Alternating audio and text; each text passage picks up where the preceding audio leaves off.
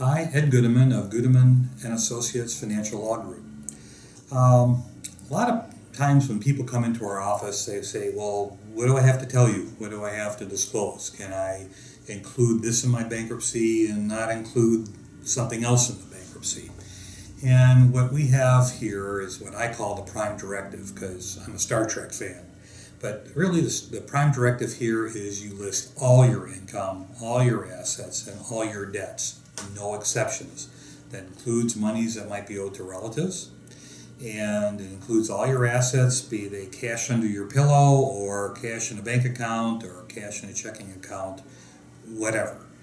You know, most people are afraid that, oh, if I do that, I'm going to lose all that um, the fact is, is that it's very rare that anybody gives up any property in a Chapter 7 bankruptcy.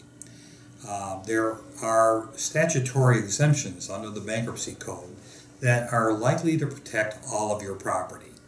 Uh, it might be one tenth of one percent of the cases that we file, and we file thousands of them, in which a person actually gives up some property.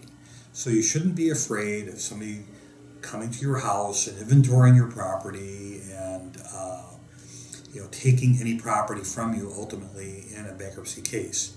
In fact, the likelihood of that is very, very slim uh, that you would ever give up any property. So if you'd like to know how this works, give us a call at the numbers are on the screen below.